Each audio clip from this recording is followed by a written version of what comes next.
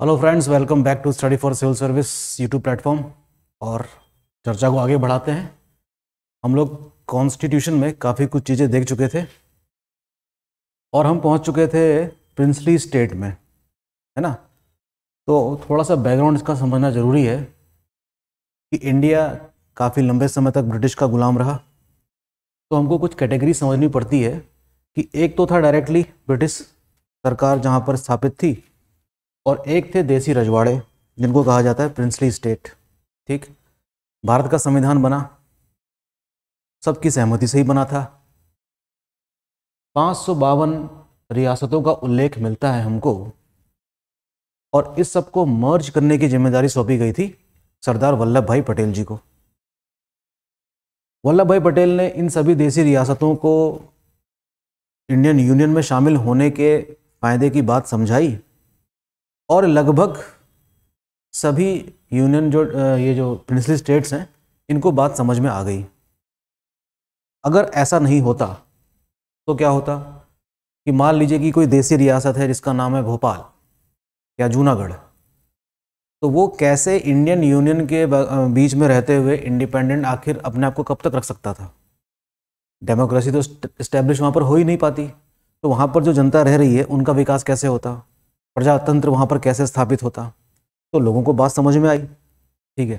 तो लगभग सभी रियासतें मान गई थी इस बात को। तीन थोड़ी ज़िद्दी किस्म की थी। इसमें से जूनागढ़ है, हैदराबाद है और कश्मीर तो खैर आप जानते ही हैं।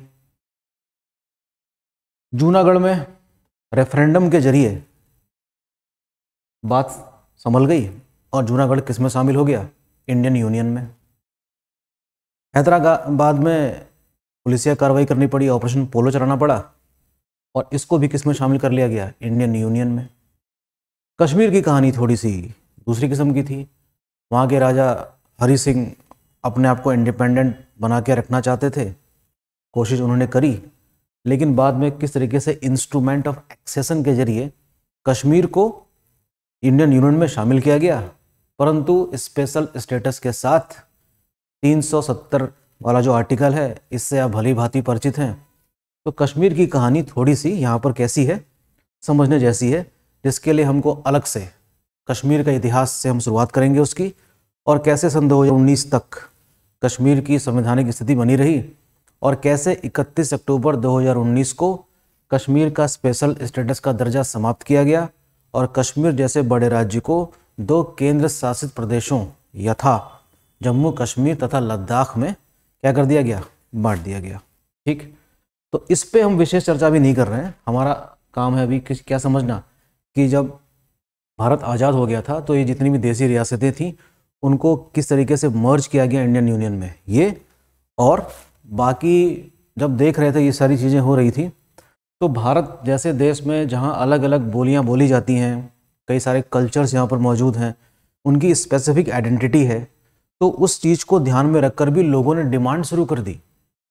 और ये डिमांड शुरू होती है साउथ इंडिया में, जहाँ पर तेलुगु स्पीकिंग पीपल चाहते थे कि हम तमिल स्पीकिंग पीपल से अलग हो जाएँ, जिसमें पोट्टी श्री रामल्लू नाम के नेता ने बड़ी अहम भूमिका निभाई। आइए देखते हैं।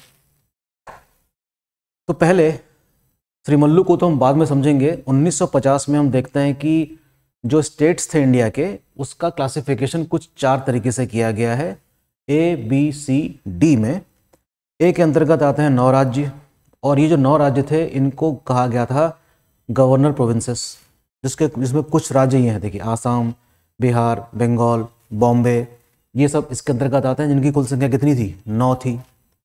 बी में आते थे नौ स्टेट, जो प्रिंसली स्टेट थे, जैसे कि हैदराबाद, जम्मू कश्मीर, आप जानते ही हैं। सी के अंतर्गत दस राज्यों का उल्लेख मिलता है और ये चीफ कमिश्नरीज थी ब्रिटिश इंडिया की। इसमें कुछ देसी रियासतों को भी शामिल किया गया था। इसमें अजमेर, भोपाल, इस तरह के राज्यों के नाम आप पढ़ेंगे।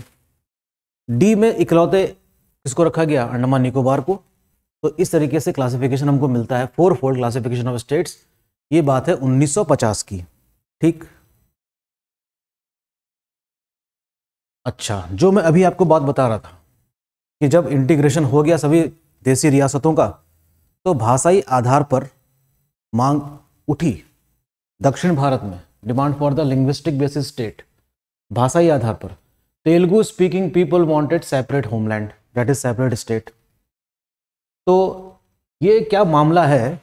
इसकी छानबीन करने के लिए सरकार ने एक retired chief justice S K धर को एक की अध्यक्षता में एक कमेटी बनाई और पता लगाने के लिए कहा कि मामला क्या है, सारी जाँच पड़ताल करके बताइए कि क्या चीज़ है। कमीशन की, का गठन किया गया, ये बात है 1948 की। याद रखेंगे कभी कभी सीक्वेंस में लगाने को आ जाता है, निम्नलिखित आयोगों को क्रम में लगाएँ ठीक है? Was constituted it rejected the linguistic basis for the formation of state S K Dhar ने कुछ सुझाव दिए सरकार को कि हाँ प्रशासनिक आधार पर या सुविधाओं के आधार पर आधार पर क्या कर सकते हैं? राज्य बना सकते हैं, लेकिन भाषाई आधार पर राज्य बनाना ठीक नहीं रहेगा। अभी नया नया देश आज़ाद हुआ है और इस तरीके से सेपरेट सेपरेशन की अगर मांग आरंभ हो जाएगी तो ऐसे तो नामालूम कितनी भाषाएँ बोली जाती हैं भारत में। तो हर कोई मांग करने लगेगा और बाद में मांग उठी भी, है ना? अच्छा एक और कमेटी बनाई गई दिसंबर 1948 में जेवीपी कमेटी कहते हैं इसको, जवाहरलाल नेहरू वल्लभ भाई पटेल और पट्टा पट्टाभी सीतारमैया, इसके तीन सदस्य थे। इन्होंने भी लिंग्विस्टिक बेसिस के का जो आधार था, उसको नकार दिया। और हम देखते हैं कि इस नकारे जाने की वजह से एजिटेशन शुरू हो जाते हैं, अर्थात विरोध प्रदर्शन शुरू हो जाता होगा। तो सरकार ने दबाव में आकर कह सकते हैं कि जनभावना का ख्याल रखते हुए अक्टूबर उन्नीस सौ तिरपन में भारत का पहला ऐसा राज्य बनाया जो भाषाई आधार पर बनाया गया था और उसका नाम है आंध्र प्रदेश। ये हैं अमरजीवी पोत्ती श्री रामल्लू जिन्होंने अपना जीवन समर्पित कर दिया कि तेलुगु स्पीकिंग पीपल के लिए एक क्या होना चाहिए, सेपरेट होमलैंड होना चाहिए। तो आंध्र प्रदेश में ये पूजे जाते हैं आज भी। इस वजह से। अच्छा फिर हम आगे बढ़ते हैं। और इनकी डेथ भी हो गई थी, छप्पन दिन की, जो इन्होंने भूख हड़ताल करी थी। फजल अली आयोग का नाम सुना होगा आपने? इसका गठन किया गया टू रीऑर्गेनाइज द स्टेट्स तीन सदस्यीय कमीशन था, जिसके अध्यक्ष कौन थे? स्वयं फजल अली। दो और सदस्य हैं, के एम पनिक्कर और एक हैं हृदयनाथ कुंजरू। कमेटी बनाई गई। सितंबर 1955 में इन्होंने अपनी रिपोर्ट सरकार को पेश करी और इन्होंने अपनी रिकमेंडेशन में लिखा that they accepted language as the basis of the formation of new state UPSC में क्वेश्चन आया था कि निम्न कथनों पर विचार कीजिए और फजल अली आयोग के संबंध में उन्होंने ये बात लिखी थी कि फजल अली आयोग ने भी भाषाई आधार को राज्य बनाने के लिए की मांग को अस्वीकार किया था, लेकिन ऐसा नहीं है। स्वीकार किया था। ठीक? तो अब ज़ाहिर सी बात है कि जब यह रिपोर्ट आ गई तो उसके बाद क्या होगा? और जितने भी राज्य हैं, भारत के अन्य हिस्से हैं वहाँ पर भी लिंग्विस्टिक बेसिस पे क्या होगा? मांग या डिमांड उठनी शुरू हो गई होगी, और ऐसा हुआ भी। इन्होंने कई सारी रिकमेंडेशन दी थी तो कुछ रिकमेंडेशन सरकार ने मानी on the recommendation of Fazal Ali commission सरकार ने चौदह राज्य और छः केंद्र शासित प्रदेशों का निर्माण किया और ये बात है नवंबर 1956 की। 1956 में हम देखते हैं कि भारत में चौदह राज्यों का एक कह सकते हैं कि पुनर्गठन हुआ है। जो राज्य पहले जिसको हम यूनाइटेड प्रोविंस कहते थे, अब उसको हम उत्तर प्रदेश कहेंगे। समझ रहे हैं बात को? कुछ इस तरीके से। अच्छा। अब हम हमको ये समझना होगा कि 1956 से लेकर आगे अभी तक। दरअसल, इसमें मैंने सिर्फ़ शॉर्ट में चीज़ें लिखी हैं ज़िम्मेदारी आपकी है। और बड़ा इंटरेस्टिंग सा है, पढ़ के तुरंत समझ में आ जाती है बात कि कौन सा राज्य कब बना, किस राज्य से निकालकर नया राज्य बनाया गया। आर्टिकल थ्री का प्रयोग हो रहा है यहाँ पर पार्लियामेंट के द्वारा, मैंने आपको कल समझाया था। 1960 में, जिसको बॉम्बे प्रेसिडेंसी कहा जाता था, उसको महाराष्ट्र और गुजरात में बांट दिया गया। ये आधार भी क्या था? लिंग्विस्टिक यानी कि भाषाई आधार पे हुआ था। मराठी पीपल जो है, उनके लिए महाराष्ट्र और जो गुजराती स्पीकिंग पीपल हैं, उनके लिए गुजरात। ये बात हो गई 1960 की। इसी तरीके से हम देखेंगे आने वाले सालों में, आने वाले वर्षों में कई राज्य बने और आज हम कह रहे हैं 2023 में भारत में इस समय कितने राज्य हैं? 28 राज्य हैं और 9 यूनियन टेरिटरीज हैं। तीसरे जैसे एग्ज़ाम में कभी कभी क्वेश्चन एग्ज़ाम में आ जाते हैं मैजर फॉलोइंग करने के लिए। ओके दादर नगर हवेली उन्नीस सौ इकसठ, गोवा, जो कि पुर्तगालियों के अधीन था, उसको लिबरेट कराया गया। बड़ी भयंकर लड़ाई हुई थी यहाँ पर यूनियन ऑफ़ इंडिया और पुर्तगालियों के बीच में, कि हम नहीं जा रहे हैं भाई। लेकिन हराया गया उनको और लिबरेट कराया गया किसको? गोवा को, पुर्तगालियों से। और किसका दर्जा दिया गया? यूनियन टेरिटरी का। उस समय इसको राज्य का दर्जा नहीं दिया गया था। एक पिक्चर बनी थी बहुत प्यारा अमिताभ बच्चन की, जिसका नाम था पुकार।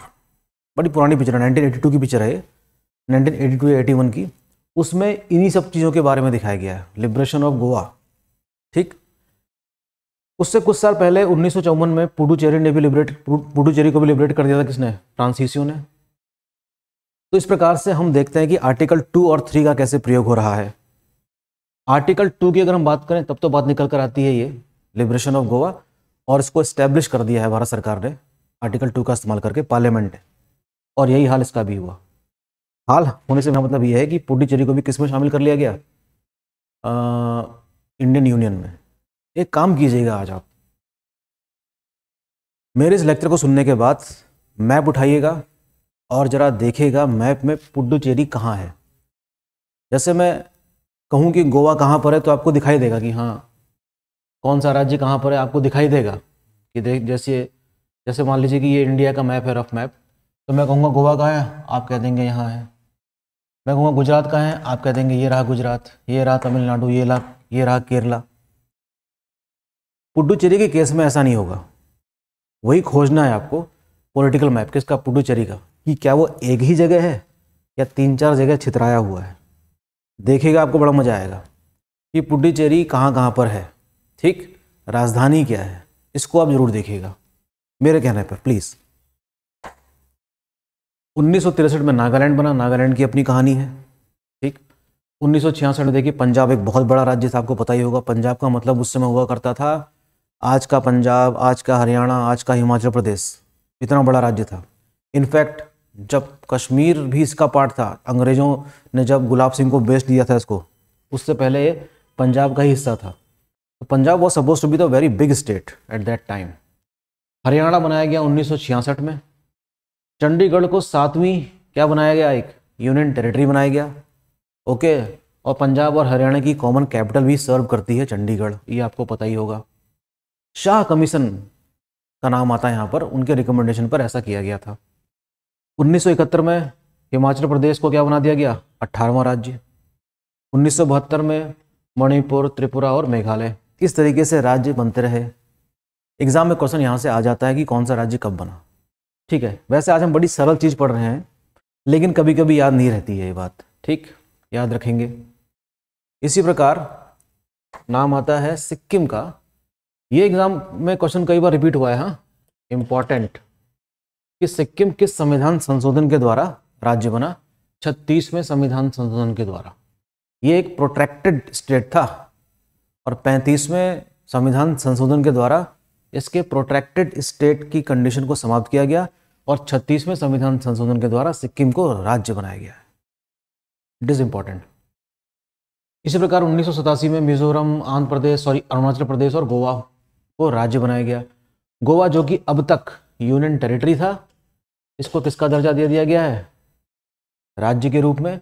और गोवा बनता है भारत का पच्चीसवां राज्य, ठीक? फिर तो आपको कहानी पता ही है, ठीक है ना? ये सब चीज़ें आपके सामने हुई होंगी सन दो हज़ार में। छत्तीसगढ़ छब्बीसवां, उत्तरांचल सत्ताईसवां, झारखंड अट्ठाईसवां राज्य बना।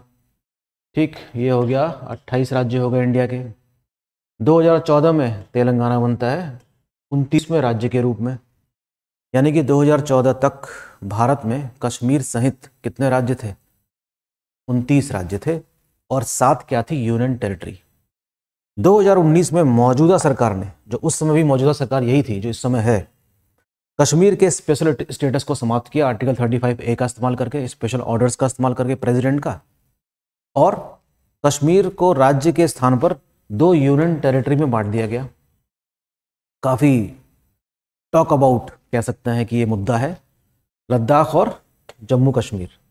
ये बात है 31 अक्टूबर 2019 की। 31 अक्टूबर का दिन इसलिए चुना गया था क्योंकि 31 अक्टूबर को वल्लभ भाई पटेल जी का जन्मदिन होता है और वो लौह पुरुष के रूप में जाने जाते हैं। और किस तरीके से उन्होंने यूनाइट किया था पूरे इंडिया को, ठीक है बिस्मार्क का दर्जा दिया जाता है वल्लभ भाई पटेल जी को। तो इस प्रकार से हम कहते हैं कि जो 29 राज्य थे, वो घट कर हो जाएँगे अब क्या 28 और जो यूनियन टेरिटरीज थी सात, वो बढ़कर हो जाएँगी कितनी? नौ। तो इस समय टोटल स्टेट कितने हैं? अट्ठाईस राज्य हो गए हैं। और नौ क्या हो गई हैं? केंद्र शासित प्रदेश।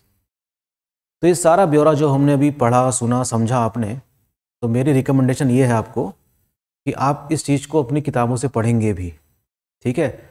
इसके लिए स्टडी फॉर सिविल सर्विस के नोट्स भी अवेलेबल हैं, आप परचेज कर सकते हैं, ठीक है? बहुत ही सस्ते में और बड़े ही किफ़ायती, ठीक? तो इस तरीके से आज की स्थिति ये है कि इस समय उनतीस राज्य हैं सॉरी अट्ठाईस राज्य हैं और नौ क्या हैं? केंद्र शासित प्रदेश हैं। तो क्या आने वाले सालों में क्या इतने राज्य रहेंगे? ज़रूरी नहीं है। डिमांड बढ़ सकती है।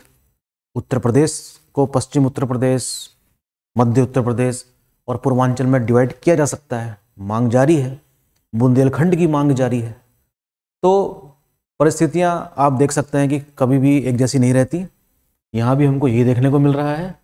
तो हमारे संविधान ने ही अवसर दे रखा है कि इस प्रकार की चीज़ों को एक्सेप्ट और रिजेक्ट करने का। ठीक? तो ये हमने डिस्कशन किया कल और आज मिला के पार्ट वन का। अगला लेक्चर जो होगा वो होगा हमारा सिटीजनशिप के बारे में। लेकिन नए साल से हमें एक चीज़ और शुरू करनी है और वो ये कि लगातार एक हफ़्ते तक हम पॉलिटी नहीं पढ़ेंगे। तीन दिन का समय हम इंडियन जोग्राफी को भी देंगे, ठीक? तो मंडे ट्यूसडे वेनसडे को जो हम पढ़ेंगे, उसके बारे में हम पढ़ेंगे इंडियन जोग्राफी के बारे में, ठीक? और फिर अगले थर्सडे फ्राइडे सैटरडे को हमारी पढ़ाई इसी में जारी रहेगी। थोड़ा सा फ्लेवर बना रहेगा ओके तो पढ़ाई करते रहिए और 2024 में कुछ करके दिखाइए। Thank you take care